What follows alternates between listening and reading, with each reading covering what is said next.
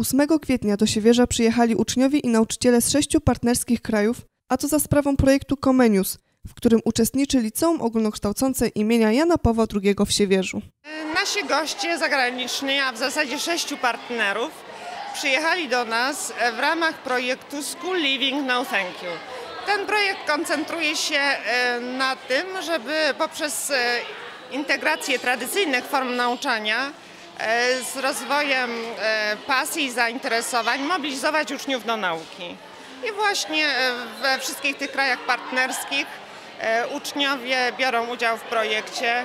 W ten sposób nauczyciele poprzez zastosowanie różnych technik, różnych zajęć chcą motywować uczniów do nauki. Podczas pobytu w Polsce mogli oni zobaczyć m.in. Wieliczkę, zwiedzić Siewierski Zamek, a także uczestniczyć w specjalnie przygotowanych zajęciach przez goszczącą ich szkołę i zespół szkół w Siewierzu, w trakcie których poznawali m.in. język polski.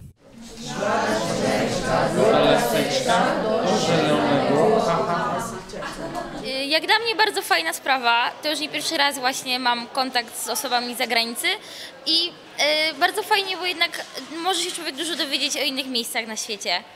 Przez taki właśnie kontakt bezpośredni z rówieśnikami. Ci goście z zagranicy e, pod przewodnictwem nauczycieli z gimnazjum zwiedzają całą szkołę E, wcześniej mieliśmy e, robione fotofrenzy, zdjęcia w tym momencie poszły do wywołania, będzie można je zobaczyć dzisiaj na koncercie. Także no, za chwilę udajemy się na obiad do restauracji z tymi wszystkimi. Wymiany międzynarodowe to nie tylko szansa na poznanie nowego kraju, to także możliwość zawarcia nowych znajomości, które często przeradzają się w przyjaźnie. Jest wieczorek zapoznawczy, że tak powiem. Spotykamy się my tutaj, osoby goszczące, no i osoby z zagranicy, które przyjechały w ramach y, projektu Comenius. Chociaż wydaje mi się, tak na pierwszy rzut oka jest wiele osób, które warto poznać. Dużo fajnych dziewczyn też, myślę. Ja osobiście nie mam żadnego, żadnej osoby z zagranicy, nie goszczę u siebie w domu. Ja również nie przyjmuję nikogo. Ale no myślę, że jesteśmy takimi dobrymi, są towarzystwa, staramy się być tego, które tam jakoś... To... Rano uczyliśmy śpiewać Y, piosenki Szła dzieweczka do laseczka. Naprawdę wiele talentów myślę, że odkryli. Zagranicznym partnerom bardzo spodobało się w Polsce, a dla niektórych była to też niepowtarzalna szansa, żeby zobaczyć śnieg. I really love the country.